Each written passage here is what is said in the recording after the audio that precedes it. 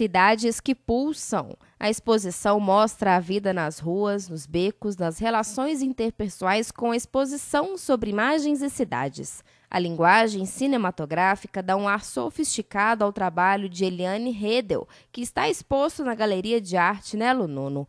A ideia é mostrar o anonimato, encontros, desencontros e o relacionamento das pessoas são revelados em meio ao labirinto de concreto.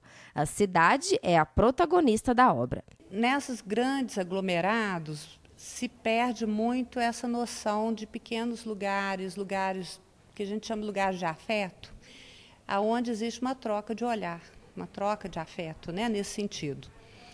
E com a quantidade de gente que hoje existe no mundo, é, as pessoas sentem uma necessidade de um certo isolamento. Isso é um paradoxo. Eliane procura mostrar os não lugares, pontos de encontro, pontos em que o correr da vida torna o espaço um mero detalhe. São lugares onde você não consegue uma identidade, Qualquer lugar que você vá, você pode olhar aí, as pessoas me perguntam assim, que cidade é essa? Não importa. Qualquer lugar que você vá, que tem um aeroporto, que tem um shopping, que tem um grande centro, o espaço é o mesmo.